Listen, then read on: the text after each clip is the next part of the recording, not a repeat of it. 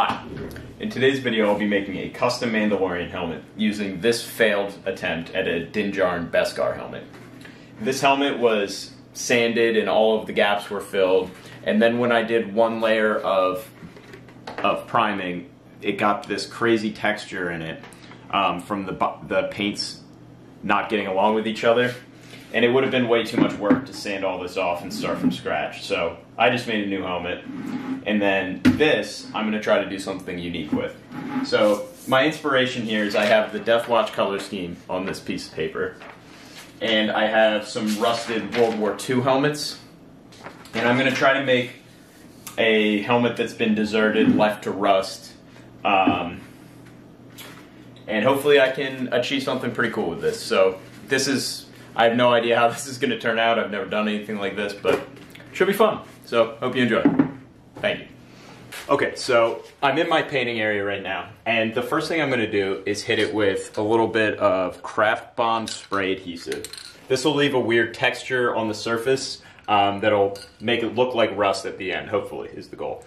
Um, this is a technique I learned from VanOaks Props. I'll leave a link to his video down in the description. It's really, really cool. Um, but hopefully um, I do this correctly. So my order is going to be uh, this spray adhesive, then black spray paint, then the whole thing's going to get chromed. Um, then I'll let that sit, I'll uh, let that sit for a little while, hit it with a clear coat, and then we'll start adding the the paint over top of that and chipping it away. So that's the main idea. Pretty much the same thing as the Boba Fett helmet, except it's getting this in between to give it a little more texture for when it gets rusted.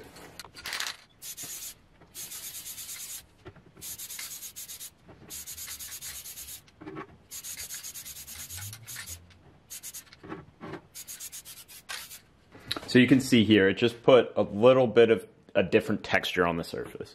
Um, and this, this will make more sense when a couple more layers get added as to why this was done, but this will give it more of a pitted metal look. Okay, I've allowed this to cure, and while it was curing, I warmed up my lacquer um, with some warm water. So now I'm going to go over it with a clear gloss lacquer, uh, or a black gloss lacquer.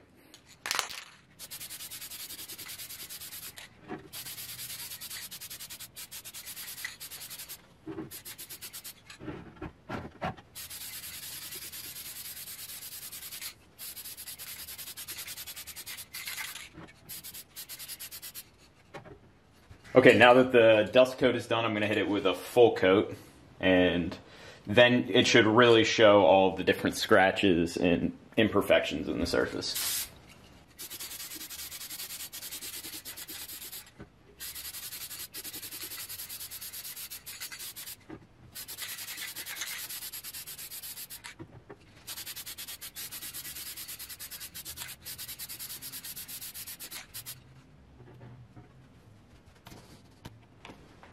Okay, so now I've gone over it with another coat of the, the spray adhesive. And hopefully the camera's picking this up, but there's some pretty interesting textures going on here um, that will hopefully look really cool when the rust effect is applied. But so far it's going quite well. Uh, the next step will be to chrome this whole thing. Okay, to chrome this, I'll be using the same chrome I used for the undercoat on my Boba Fett helmet, which is Rust-Oleum Bright Coat Spray Paint. I won't be doing the same chrome I used for my Mandalorian helmets because uh, the airbrush takes a long time to spray it on. You can get some tiger striping because of the thinner nozzle, and that stuff is five times more expensive. So a can of this is like four bucks, and I can do 20 of these. So Rust-Oleum Bright Coat does a really good chrome for what I'm trying to achieve here.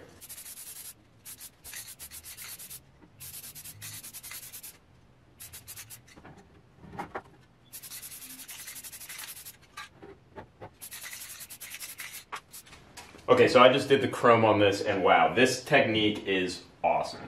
Uh, it's kind of hard to pick up on the camera. I'll try to get some close-up shots of it, but this left a really bumpy. I didn't do full fill. There's some black showing through that makes it look really old. Um, this is a really, really awesome technique. Um, the next step will be to clear coat to lock this all in, so when I do all the masking to do the paint job, uh, I don't lose any of this paint or texture. But this is for a, for a helmet I thought I was gonna have to throw in the trash, this is coming along really, really cool.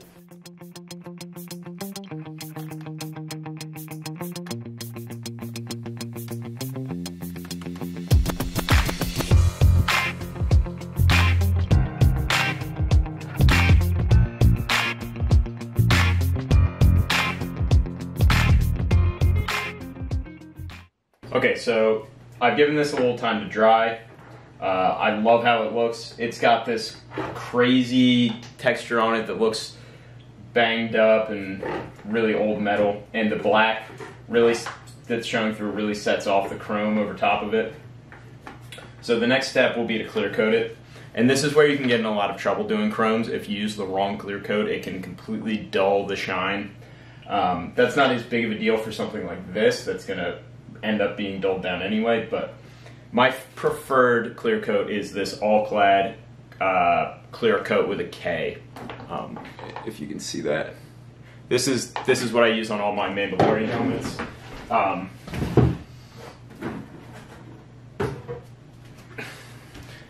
and even after they've been clear coated, they still keep this really awesome shine. So, highly recommend this product. Uh, and it has to be shot out of an airbrush. So, I'm going to do that next, and then it's time to start masking. So, Alclad clear coat is the stuff I use.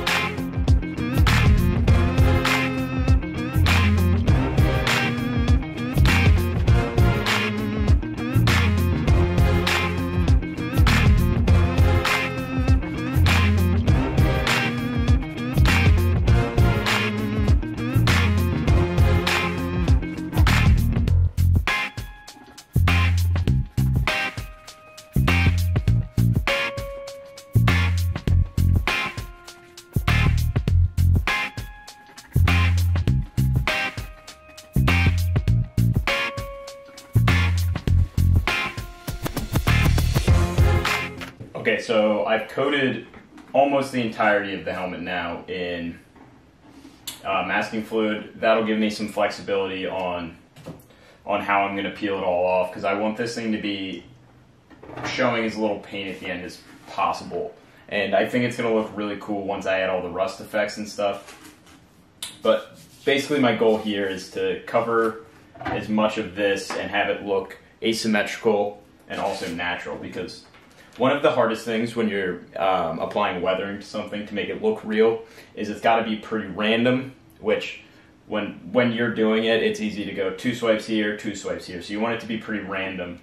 And also um, oh you don't want to overdo it at, but for something like this um, I want it to be really really weathered. So you want to you want to try to make sure you're keeping it very very random while also having it make sense and telling the story you want to tell. So this this helmet, according to my story I've made up for it, is has been left out in the desert for for years um, and is just being reclaimed. So uh, based on that story, it makes sense that this thing would have almost no paint left on it because the because the sand's been blowing against it, breaking off all the paint. I put a piece. I did some masking here with masking tape because I want I want this part of the helmet to be basically have zero paint. Um, but the problem with masking tape is it leaves really regular straight lines. So I put masking tape down and then covered it with the masking fluid. So this will get then get painted a different color blue than the face, and hopefully it looks really cool. So we'll see.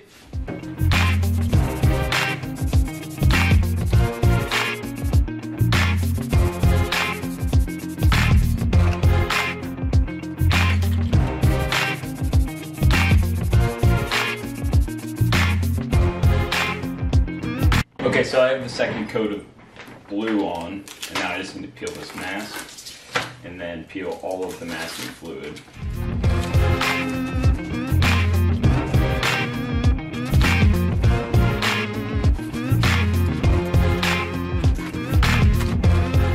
Okay, so the ears are still silver. This part's still light blue, and now it's time to get rid of all of the masking fluid around the rest of the helmet. So this section is going to be really silver, and you'll see later that this is because I want this to be a the spot of a blaster shot. So there, I'll airbrush in some burn marks, and I think I can get it to look really cool. But a lot of peeling work, so I'm gonna try putting duct tape down and seeing if I can peel some of the masked off, parts off. So let's see, let's see if this works.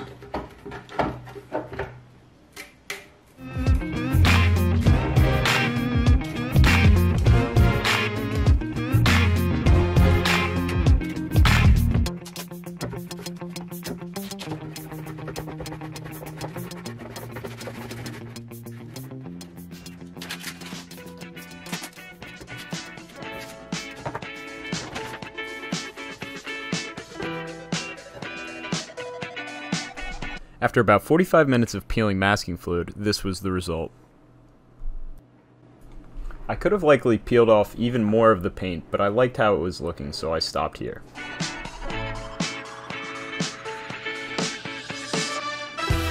Okay, so as you can see, I got the paint chipping done, and it's at a spot where I think it looks really, really cool. So my next couple steps are going to be based off of VanOaks' process, um, and that's where I add a couple layers of weathering, um, watered down with Windex. Um, you water down the acrylic paint with Windex, and then spray on more Windex to make it run. So hopefully, if I do this right, it'll get a nice dirty rust effect going throughout the entire piece, as well as darkening up a light blue and dark blue to make it look like it's been aged. So I'm to jump into that now, and I'm to apply the paint with this chip brush.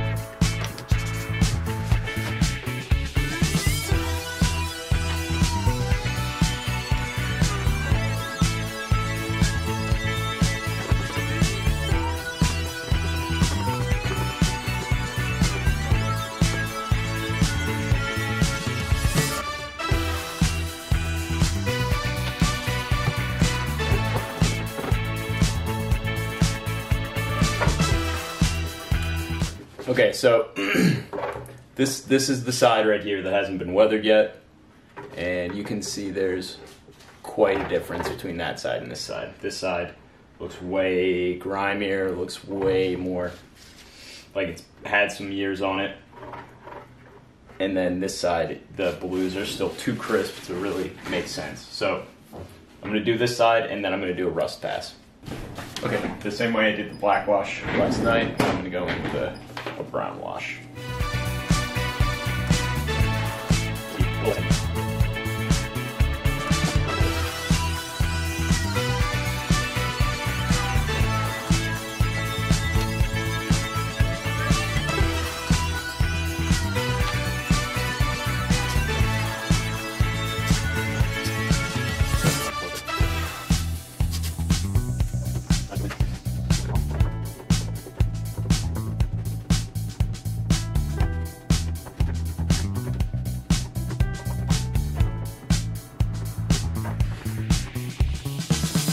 Okay, now to do the rust effect, I'm using burnt umber acrylic paint, and I'm applying it the same way.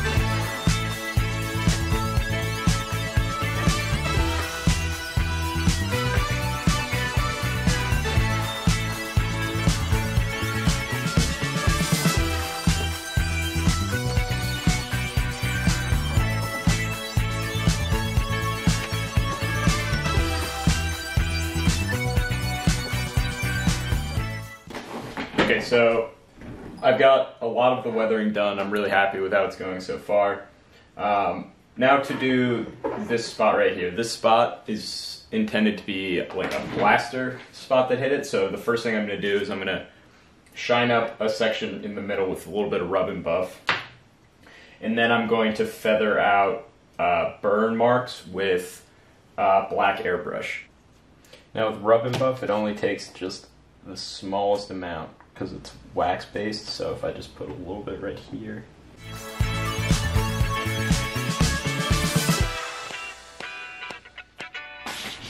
Okay, so I have a very thin black from my airbrush. So I'm just gonna.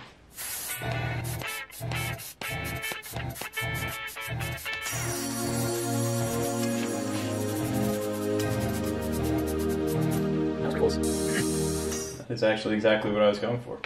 And now I'm just going to use this black airbrush to uh, highlight a couple spots.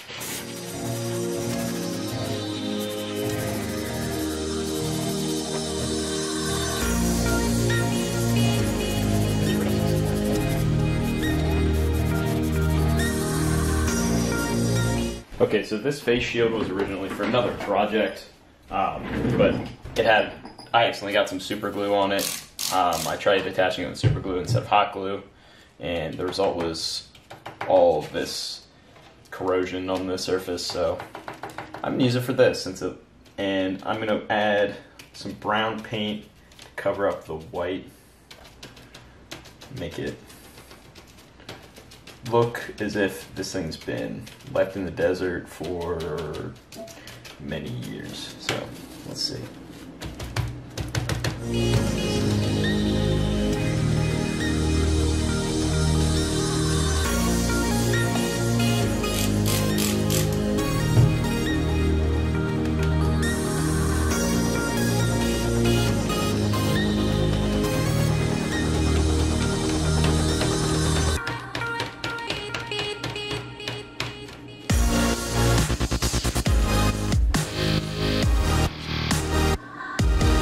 And I can still see through it. So that, since these things are hard to come by, I might as well reuse one that's already messed up with me. So the purpose of this build was for me to use this helmet that I thought was complete trash after it had a horrible paint reaction and make it into something unique that I could use to build some skills and try something new that I'd never done before. And this is what I would like to call a success. This this helmet tells a story. It's it looks like it's really lived out in the wilderness for 20 or so years. The paint chipping effect that I was able to get on this is pretty believable. Um, the rust is ju- I, I don't think I overdid it with the rust look and a couple spots where I could do better. This this bullet it, it could definitely be done better, but I'm happy with it. It looks cool. Um, and I got to reuse a face shield that I was going to throw away. So for for a project that I got done in a day and a half, this couldn't have gone better. Um, so this this whole thing was done for May the fourth. Um, I was really busy the last two weeks, and on Sunday I finally got a chance to start working on this. So hopefully I have it out for Tuesday. But this was re- a really fun project, and I hope you enjoyed. Thank you.